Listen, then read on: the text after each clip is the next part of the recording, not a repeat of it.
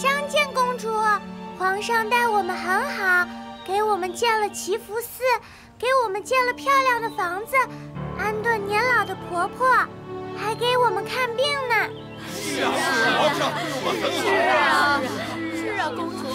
是啊，公主。皇上对所有的子民都是这样吗？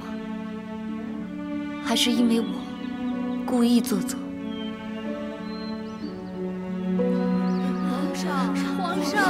皇上，皇上！皇上，皇上，皇上，皇上，皇上，请穿的韩布的服饰。皇上，皇上，皇上，皇上，都起来吧。小姐，见到族人高兴吗？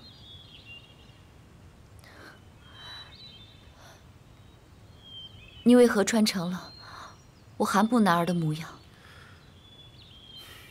既然你不愿意先成为朕的女人，不愿意改变你的装束，那朕就为你变成韩部男儿。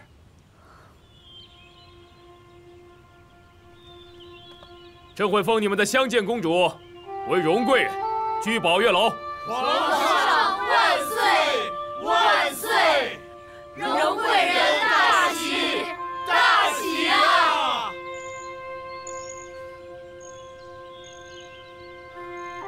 朕叫你们来，是要告诉你们，在宫中所有人都要容得下荣贵人，与她和睦相处，别再闹出什么合宫求见之事了。臣妾知道，臣妾恭喜皇上，恭喜荣贵人，愿荣贵人与皇上两心相许，珍重到老。皇上，荣贵人已经见过他的族人了，不如让他们回去吧。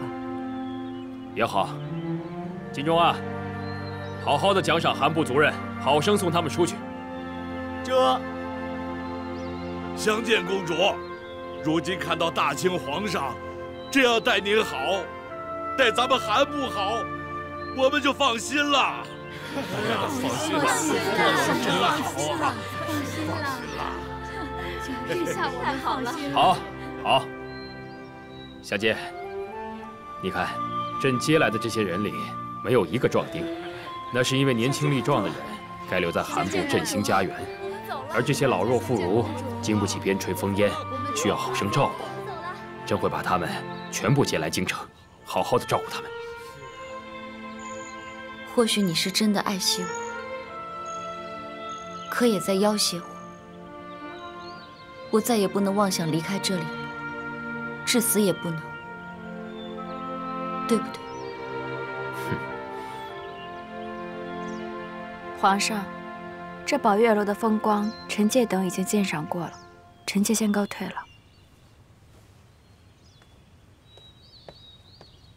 皇上，那臣妾等也就先告退了。臣妾告退。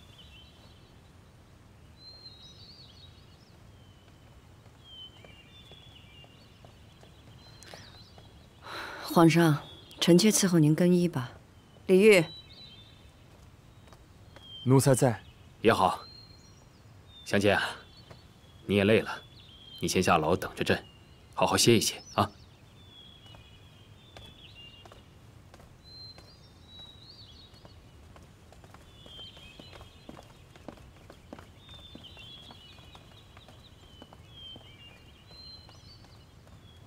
香姐好好活了下来，也终于肯留下了。如意啊，朕要谢你啊！皇上得偿所愿，臣妾恭喜皇上。嗯，还请皇上更衣吧。朕并不觉得穿着韩布袍服有何不妥啊。朕是天下人的天子吧，着自己子民的衣服，不论哪个部族都很妥当。下去吧。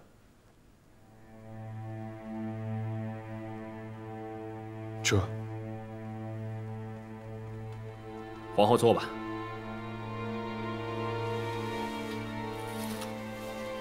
皇上，满蒙联姻多年，关系最为密切，也不见哪朝天子穿了蒙古的袍服。皇上这么做，臣妾担心会让蒙古各部寒心。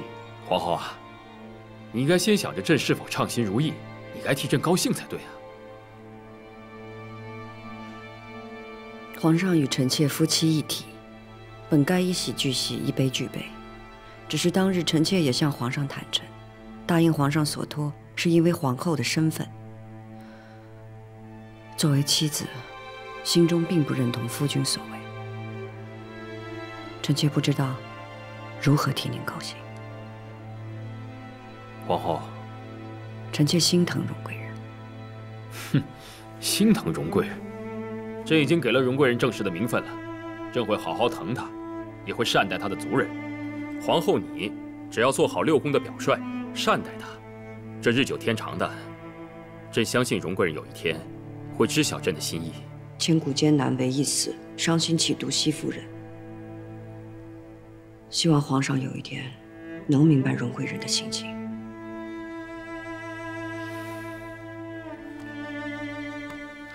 如意，你说的，朕何尝不懂呢？朕原本想让相见入宫，接受韩部的示好，也让边地各部落和睦，想着他入宫之后冷着他就是了。可是朕第一眼见到他的时候，就知道自己没办法了。如意啊，朕是真的喜欢他。朕知道得不到他的心，但他人在也是好的。朕是真心希望他能留下来，真心希望他能高兴。如意，你能明白朕吗？皇上的一厢情愿，如同曹植痴对洛神。皇上，您只是给自己画了一幅洛神图。就算你换上了曹植的衣裳。洛神也不会对他倾心的。你讽刺朕呢，如意。朕以为同你说这些，你会明白的。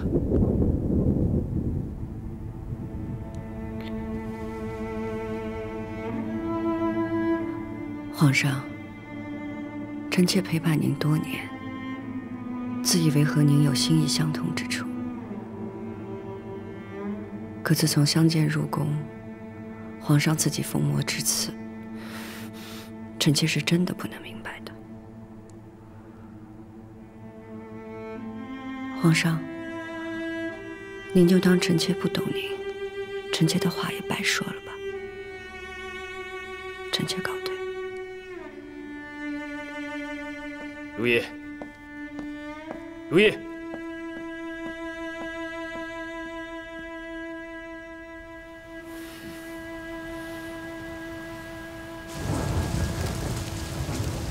娘娘慢点。皇后娘娘，皇后娘娘晚安。起了吧。郎大人，您怎么在这儿？皇上命臣来此为皇上和荣贵人腾入华夏。啊。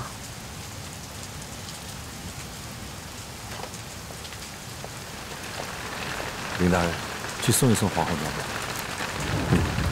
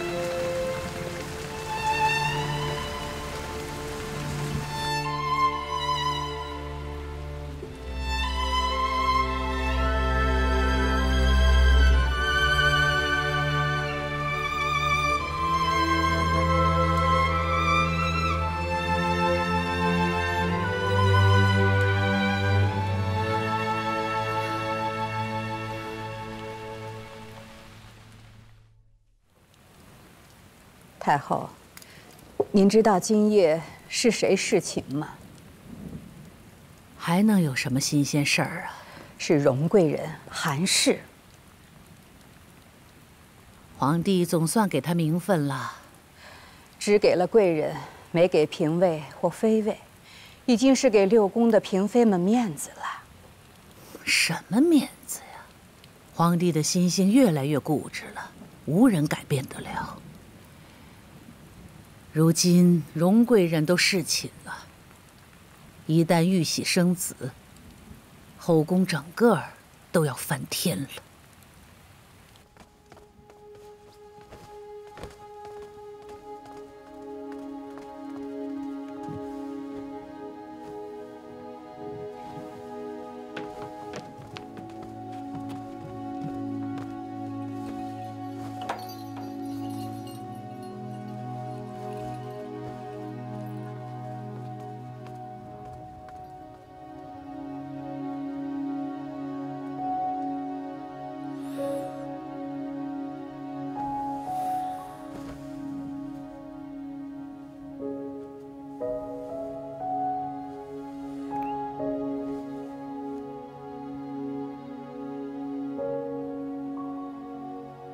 相见，你别害怕，别担心，往后朕会好好待你和你的族人的。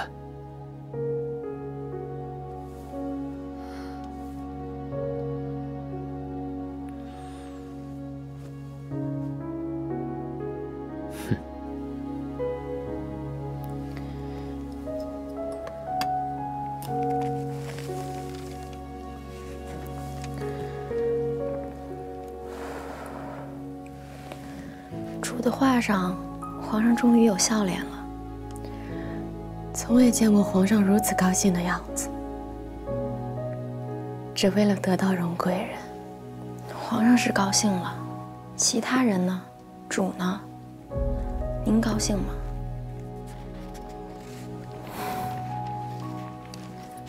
我高不高兴，谁会在乎呀？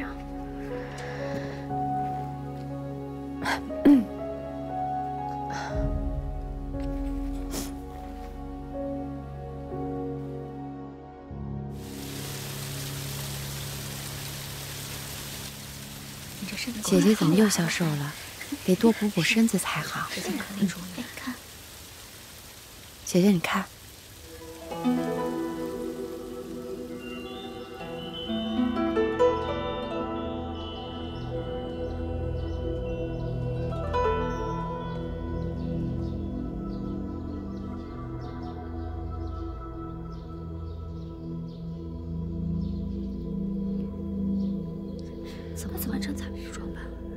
她怎么来了？是啊，和咱们不一样。哪知道皇后娘娘起身了，请各位主入内。进去，走吧。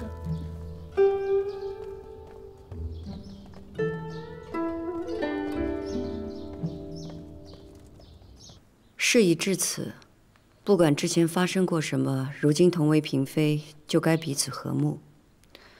荣贵人出生在边地，与咱们满汉蒙的规矩不大相同，咱们更该互相包容一些。臣妾明白。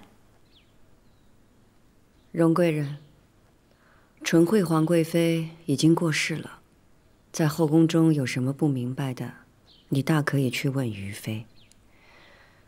她在妃位中资历最深。是，臣妾有些话，正想与皇后娘娘单独说说。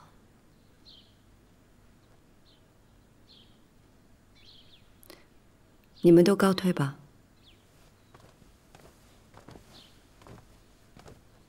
臣妾告退。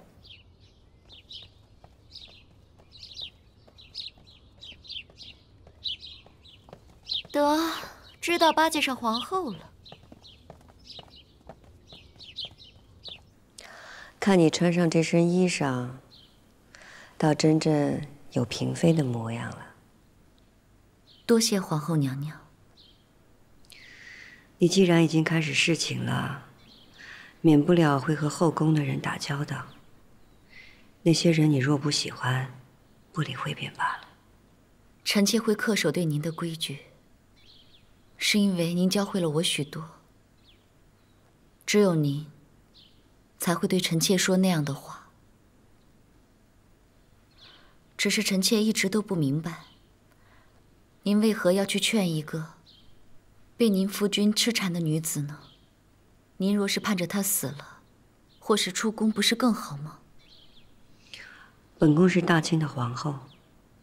皇后不仅是妻子，更多的是服从和责任。您曾经跟我说的那个少年郎，是皇上吗？当然是。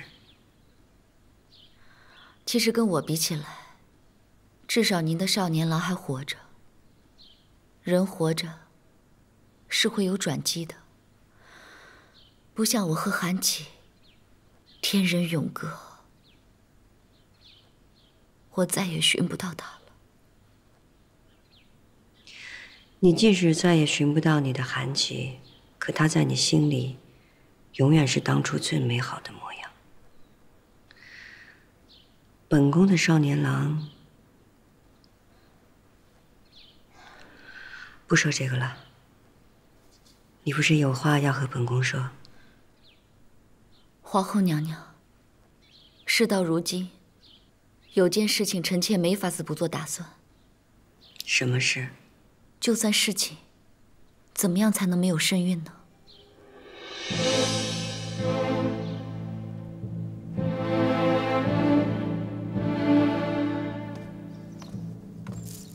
哟，皇上，您是人逢喜事精神爽啊！别胡乱恭维，荣贵人今日可好啊？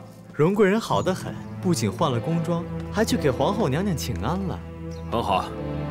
百家，朕就去宝月楼看看荣贵人。这。